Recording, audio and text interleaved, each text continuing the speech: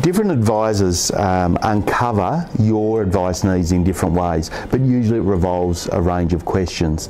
So it, they'll find out what you know and understand to start with, and then they'll explore some concepts that maybe you don't already have um, the grasp of. So, basic things like cash flow. Most people spend more than they earn. That's the first problem. We need to deal with that. Then there's issues around debt. Most people have got debt that they don't want to have.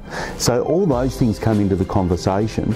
Um, but the main thing is about trying to get to this a sense of where do you want to be? What is it you want to change? You know, uh, financial advisors often will ask the first question of a client, so why have you come in to see me? Because so many people come to an advisor because a friend or a family member or their accountant or a lawyer, someone else has referred them to see the advisor and says, you know, you should see XYZ advisor, you need some help on this stuff. And they arrive and they're not actually sure why they're there. So getting onto the same page is really important and uncovering what the needs are that you have.